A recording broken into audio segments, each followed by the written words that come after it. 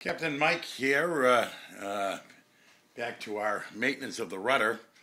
So we've carefully sanded the uh, rudder, as you can see, and uh, well, as you can almost see here.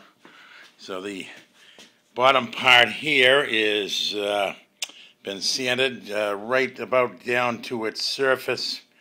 Um, there's very little of the anti-fouling paint left. We're going to be painting the bottom of BRB black this year. Um, so uh, tomorrow uh, we're going to be working down below and we'll be applying the uh, anti-fouling bottom paint to the bottom of the rudder. What we've done today is we've done two coats of uh, base coat, uh, I'm sorry, base coat, clear coat to the uh, top part of the rudder, and that's what's over the water line. So as you can see, it's got a very good gloss to it, very uh, professional looking, and this dries even better looking than it is uh, uh, after it's dust free. It looks 10 times better. Dust free meaning that's the time that you can actually uh, uh, put your fingers on it or dust can hit it and not stick. So this uh, part of the painting process is very important that there be little or no dust I often uh, wet the floor before I do any painting. Um, and as you can see, that looks pretty darn good. And tomorrow it'll look even better. Uh, and uh, we will mask, uh, we'll mask uh, right at the water line on the white side uh, tomorrow. And we'll, that's actually rolled on the anti-fouling paint.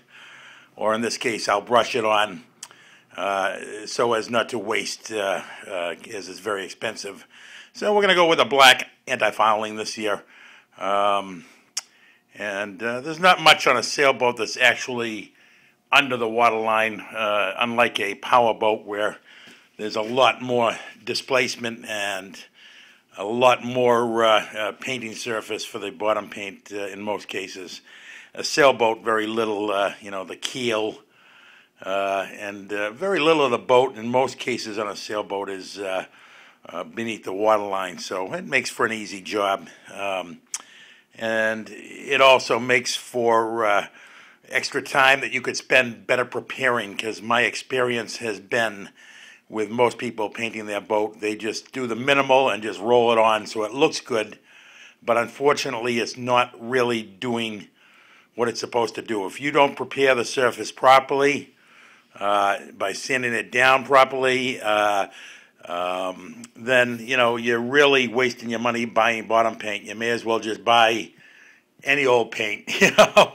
So uh, it's worth uh, the prep time, uh, and uh, this is coming out really good. fortunately, like I shared in an earlier video, we were aground and didn't do any damage to the bottom. So that's a plus, uh, uh, either to the rudder or the keel that I've already inspected. So uh, things are coming along, looking good. This is a uh, project that probably took about uh, total time about two and a half hours, um, and uh, looks pretty good. I'm happy with it. All right, Captain Mike signing off, and we hope to be sharing another maintenance video pretty soon. Bye bye.